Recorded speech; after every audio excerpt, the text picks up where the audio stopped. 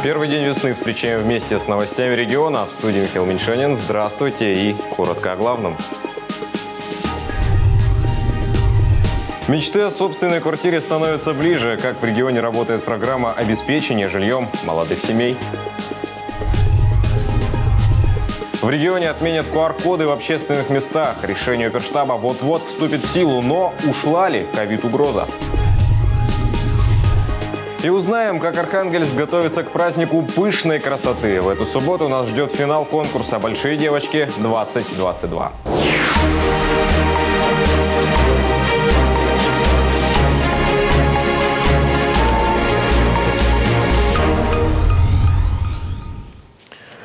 Мечты о собственной квартире становятся ближе, по крайней мере, еще для нескольких участников государственной программы обеспечения жильем молодых семей. В нашем сюжете речь пойдет о ячейках общества из Новодвинска. Кто помог улучшить быт, узнал Алексей Карельский. Семья Черницыных – настоящая классика жанра. Муж, жена, сын да дочка. А еще всегда рядом верные друзья, собаки и немногословные рыбки. В общем, идиллия. Для полного счастья новодвинцам долгое время не хватало одного – собственной жилплощади. Снимали квартиру до этого, да, однокомнатную, нам места стало мало, появилась у нас Ксюша. Потом узнали, что у нас вот появится Егорка, и вот сели, подумали, решили, что справимся, пока молодые, нужно принимать какие-то серьезные важные решения. Вот взяли ипотеку, оформили, взяли двухкомнатную квартиру. Понимая, сколь серьезно бремя ипотеки, супруги подали документы на участие в госпрограмме обеспечения жильем молодых семей. Она помогает улучшить жилищные условия тем, кто в этом нуждается. Елена направила заявку и по месту своей работы. Она трудится на Архангельском ЦБК. Дело в том, что комбинат по решению его акционеров и при непосредственной поддержке благотворительного фонда Владимира Крупчака уже несколько лет софинансирует эту программу. Дождались радостной вести и Черницыны. Их пригласили на вручение денежного сертификата. Пока вот мы не получим вот эту заветную бумажку, вот этот сертификат в руки, как бы, знаете, ну, не верится, вот, э, потому что это не маленькая сумма, которую он в любом случае будет гасить.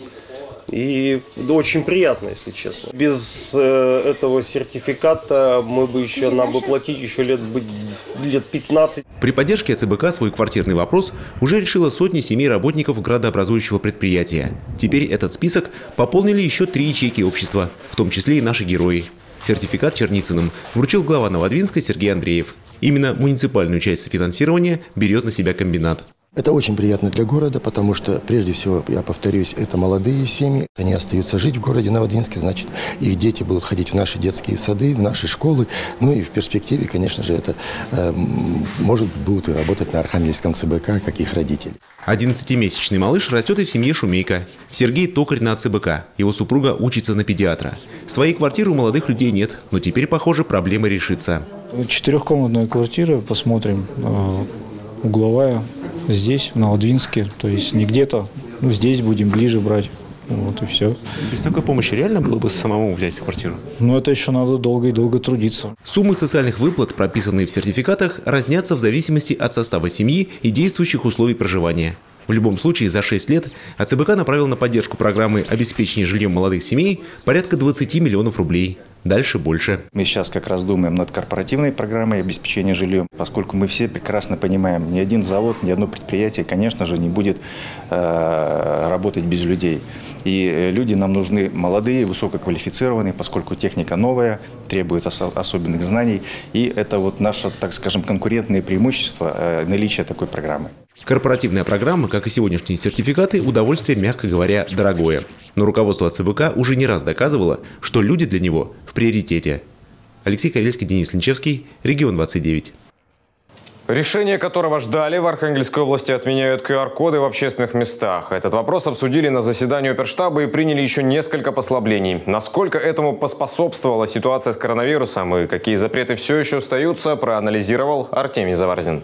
Начало весны в регионе более чем позитивное. Уровень коллективного иммунитета наконец превысил 90%, а показатель заболеваемости снизился резко и сразу вдвое.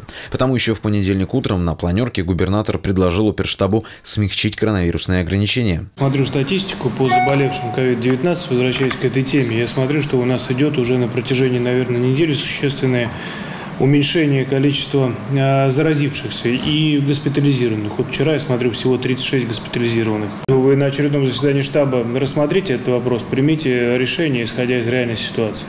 Мое мнение, что посмотреть послабление уже можно. Хорошо. И послаблений оперштабом принято сразу несколько. Во-первых, QR-код о вакцинации в торговых центрах, кафе, культурных и спортобъектах больше не нужен. Ограничение, напомним, продержалось с начала октября, то есть почти 5 месяцев. Кроме того, отменяется требование об обязательном переводе на дистант не менее 30% госслужащих и сотрудников муниципальных учреждений, а также тех, кто в возрасте 60 лет и старше. Во многом в пользу того, что послабление уместное, говорит и коэффициент распространения инфекции. Он теперь меньше, чем 0,5. За на протяжении последних пяти дней фиксировалась заболеваемость не более тысячи человек в сутки. А количество выздоравливающих значительно превышало вплоть до трех раз, трехкратное превышение от количества ежедневно заболевающих. А вот что делать с оставшимися ограничениями, отменить или смягчить, решится к следующему заседанию оперштаба. Вопросы, связанные с работой детских игровых комнат, э, с работой э, учреждений культуры, количеством мест э, при заполняемости в залах при проведении этих мероприятий по термометрии. Кроме того, отметили в оперштабе, нельзя снижать объемы тестирования ниже планки в 300 исследований на 100 тысяч населения ежедневно. Артемий Заварзин, Регион 29. Уже в эту субботу, 5 марта, пройдет финал конкурса «Модель плюс. Большие девочки-2022». Из 68 прошли кастинг только 13 дам. Напомним, что в прошлом году победительница конкурса Диана Капелина представила нашу область на всероссийском конкурсе и одержала победу. Алексей Макеев о том, как идет подготовка к празднику пышной красоты. Елена Валькова, как сейчас принято говорить, инстадива. На ее аккаунт в соцсети подписано 83 тысячи человек со всего мира. Причем мужчин больше, чем женщин.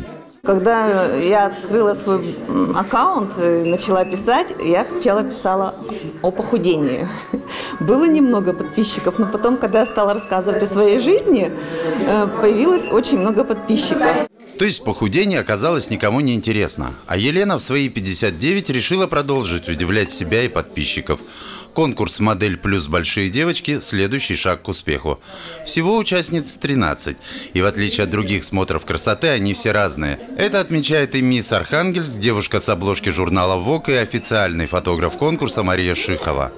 О, ты что, конечно, мне вообще каждый так нравится. Я каждый фотографирую, такая думаю, господи, откуда все такие красивые пришли. Мне очень нравятся, конечно, девочки.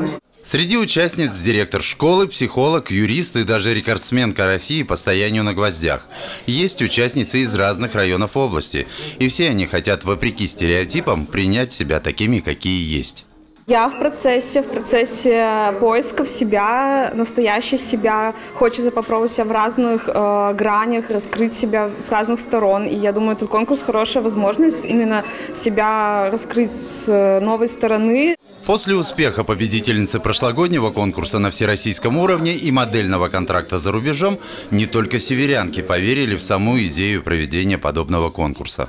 К нам, что ли, доверие, такой лимит доверия мы завоевали у наших друзей, у наших партнеров. А, нами заинтересовались другие регионы, и Москва в том числе. Мы были в Наринмаре недавно. Ну, конечно, есть такое движение, безусловно. Мы не собираемся уходить э, в стагнацию. Мы прекрасно понимаем, что развитие необходимо. А в рамках финального шоу пройдет не только конкурс, но и показ шляп от известного дизайнера Катарины Шапале из Санкт-Петербурга, а также встреча со стилистом-имиджмейкером, телеведущей одного из федеральных каналов Светланой Воронцовой. Выберут модель «Плюс 2022» уже в эту субботу, 5 марта в культурном центре «Соломба Камбала Арт. Алексей Макеев, Ольга Красулина, Регион 29. В чемпионате России по хоккею с мячом завершился регулярный сезон. Заключительный матч предварительного этапа наш водник проводил на своем льду против хабаровского СКА «Нефтяник» и добился уверенной победы. О том, как это было, в нашем обзоре. На игру со сканефтяником водник выходил уже без турнирной мотивации. К стартовому свистку на труде «Динамо» в Ульяновске громила «Волгу» и становилась недосягаемым на первой строчке. Хабаровчане, напротив, в случае победы поднимались на третье место. Быть может, от того гости грамотнее провели начало матча, организованно пережидали в обороне напор водника и забили в контратаке. А дальше череда удалений и Дергаев вот уже оформляет хит-трик, при этом два мяча с пенальти. В таких играх, да, э, с таких соперником растет мастерство как команды в целом, так и индивидуальных игроков. Но мы, мы же понимали, что главная наша скорость, э, козырь это наша скорость, потому что все-таки команда СКА очень возрастная, поэтому их физически не хватает. Армейцы водник старались не отпускать. Томас Мятте заработал на себе нарушение, а затем замкнул подачу Аникина. Но на перерыв водник все равно ушел, ведя в два мяча. Пожилов забил, выйдя один на один. Вне игры судья не увидел и гол засчитал. В начале второго тайма команды обменялись голами и дальше игру вел водник. Забивает Дергаев Анциферов. Эффектным мячом отметился молодой Шершов. Я видел, что на меня трое пошло соперников.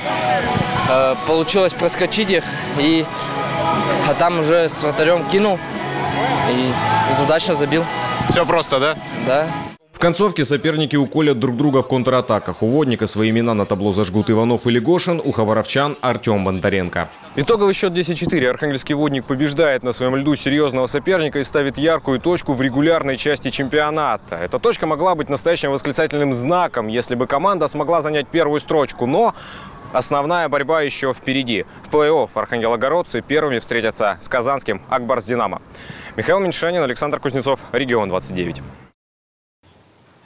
На этом пока все. Итоги дня в 19 ровно. Не прощаюсь.